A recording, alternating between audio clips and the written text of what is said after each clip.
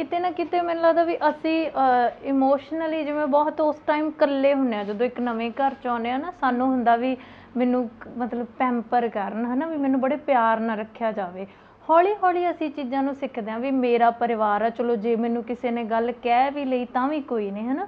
ਤੇ ਮੈਨੂੰ ਲੱਗਦਾ ਵੀ ਜਿਹੜੇ ਉਹ 4-5 ਸਾਲ ਹੁੰਦੇ ਨੇ ਸ਼ੁਰੂਆਤ ਵਾਲੇ, ਜੇ ਉਦੋਂ ਸਾਨੂੰ ਸੰਭਾਲ ਲਿਆ ਜਾਵੇ ਤਾਂ ਅਸੀਂ ਸਾਰੀ ਉਮਰ ਲਈ ਉਸ ਘਰ ਦੇ ਹੋ ਜਾਂਦੇ ਹਾਂ, ਹਨਾ। ਫਿਰ ਨਫੇ ਵੀ ਸਾਡੇ ਹੁੰਦੇ ਨੇ ਨੁਕਸਾਨ ਵੀ ਸਾਡੇ ਹੁੰਦੇ ਆ ਨਾ। ਬਿਲਕੁਲ। ਹੁਣ ਜਿਵੇਂ ਇਕਬਾਲ ਤੁਸੀਂ ਅਹ, ਮਤਲਬ ਆਪਾਂ ਸਾਰੀ ਮਤਲਬ ਦਾ ਵੀ 40 ਸਾਲ ਦੇ ਨੇੜੇ ਆ ਹਨਾ।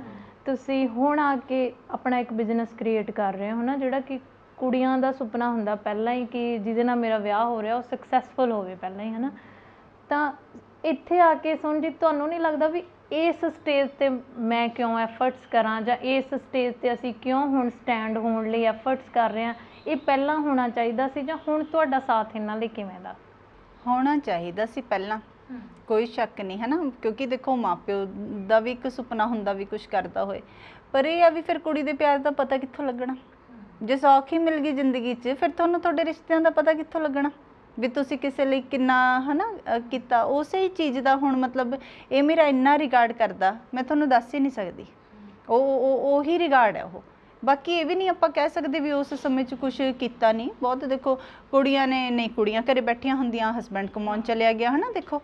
ਮੈਂ ਕਮਾਉਣ ਚਲੀ ਗਈ, ਮੇਰੇ ਬੱਚੇ ਕਿੰਨੇ ਸੋਹਣੇ ਪਲ ਗਏ ਪਿੱਛੋਂ। ਮਤਲਬ ਉਸ ਪੱਖ ਤੋਂ ਠੀਕ ਹੈ। ਜੇ ਦੇਖੋ, ਜੇ ਲਾਈਫ 'ਚ ਨਾ ਡਿਪੈਂਡ ਕਰਦਾ ਵੀ ਤੁਸੀਂ ਕਿਹੜੀ ਸੋਚ ਲੈ ਕੇ ਚੱਲਦੇ ਹੋ? ਤੁਸੀਂ ਪੋਜ਼ਿਟਿਵ ਹੋ ਜਾਂ 네ਗੇਟਿਵ ਹੋ ਜੇ ਤਾਂ 네ਗੇਟਿਵ ਹੋ ਨੁਕਸਾਨ ਵੀ ਆਪਦਾ ਹੀ ਹੋਈ ਜਾਣਾ। ਕਿਸੇ ਦਾ ਤਾਂ ਹੋਣਾ ਨਹੀਂ। ਸੋ ਔਖ ਸੌਖ ਬੜੀ ਆਈ ਉਹ ਉਹ ਆਪਾਂ ਖੁੱਲ ਕੇ ਨਹੀਂ ਡਿਸਕਸ ਕਰ ਸਕਦੇ। ਥੋੜਾ ਜਿਹਾ ਉਹਨੂੰ ਲੋਕ ਉਲਟਾ ਲੈ ਲੈਂਦੇ ਆ, ਹਨਾ?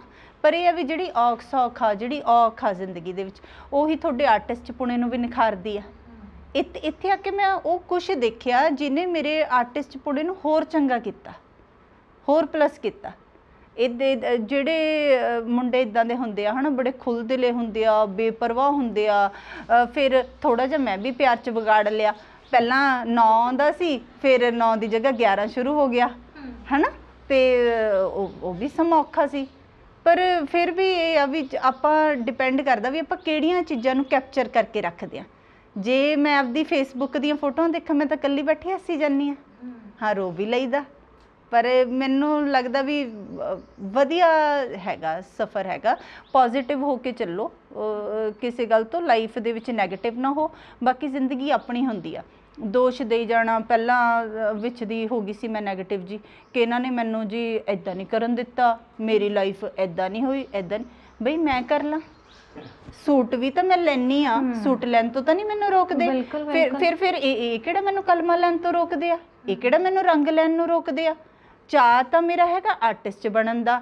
ਘਰੇ ਮੇਰੇ ਇੱਕ ਬ੍ਰਸ਼ ਨਹੀਂ ਕੋਈ ਪੇਂਟ ਨਹੀਂ, ਹਨਾ? ਫਿਰ ਉਹ ਉਹ ਉਹ ਚੀਜ਼ ਦੀ ਇੱਕ ਪੋਜ਼ਿਟਿਵਿਟੀ ਦਿੱਤੀ ਮੈਨੂੰ। ਕੁਝ ਹੋਰ ਪਰਸਨੈਲਿਟੀਜ਼ ਨੇ, ਬਾਹਰਲੀਆਂ ਪਰਸਨੈਲਿਟੀਜ਼ ਵੀ ਦਿੰਦੀਆਂ। ਫਿਰ ਉਹ ਤੋਂ ਬਾਅਦ ਮੈਂ ਉਹੀ ਰੰਗ ਖਰੀਦਣੇ ਸ਼ੁਰੂ ਕਰਤੇ। ਉਹ ਹੁਣ ਆਪਣਾ ਕਮਰਾ ਵੀ ਉਸੇ ਰੂਪ ਜੇ ਦਾ ਕ੍ਰੀਏਟ ਕਰ ਲਿਆ। ਉਹ ਹੁਣ ਵੀ ਤੇ ਉਹੀ ਨੇ। ਫੜ ਕੇ ਰੋਕਦੇ ਥੋੜੀ ਆ। ਆਪਣੇ ਐਫਰਟਸ ਨਹੀਂ ਅਸੀਂ ਲਾ ਰਹੇ ਹੁੰਦੇ। ਖੁਦ ਦੀ ਬਾਕੀ ਮੈਂ ਤੁਹਾਨੂੰ ਇੱਕ ਐਗਜ਼ਾਮਪਲ ਦਿੰਨੀ ਇੱਕ ਵਾਰੀ ਪਤਾ ਅਸੀਂ ਨਾ ਦੋ ਇੱਕ ਅਸੀਂ ਸੀਗੇ ਇੱਕ ਸਾਡੇ ਨਾਲ ਹੋਰ ਕਪਲ ਅਸੀਂ ਘੁੰਮਣ ਚਲੇ ਗਏ। ਤੇ ਉਹ ਨਾ ਉਹ ਕੁੜੀ ਨੂੰ ਇਹੀ ਪ੍ਰੋਬਲਮ ਹੋ ਗਈ ਕਿ ਸੁਪਾਲ ਸੋਨਜੀਤ ਦਾ ਇੰਨਾ ਪਿਆਰ ਕਰਦਾ ਕਿਉਂ? ਹਨਾ ਉਹ ਉਹ ਸਿਚੁਏਸ਼ਨ ਕ੍ਰੀਏਟ ਹੋ ਗਈ। ਬਟ ਉਹਨੇ ਇਹ ਨਹੀਂ ਸੋਚਿਆ ਵੀ ਵੀ ਸੋਨਜੀਤ ਉਹਦਾ ਕਿੰਨਾ ਕਰ ਰਹੀ ਹੈ। ਮੈਂ ਤਾਂ ਉਹਨੂੰ ਫੜ ਫੜ ਕੇ ਸੁਪਾਲ ਨੂੰ ਕਹਿੰਦੀ ਆਪਾਂ ਕਰਦੇ ਆਪਾਂ ਇਹ ਕਰਦੇ ਉਹਦੇ ਘਰ ਵਾਲੇ ਨੇ ਵਿਚਾਰੇ ਨੇ ਜ਼ੋਰ ਲਾ ਲਿਆ।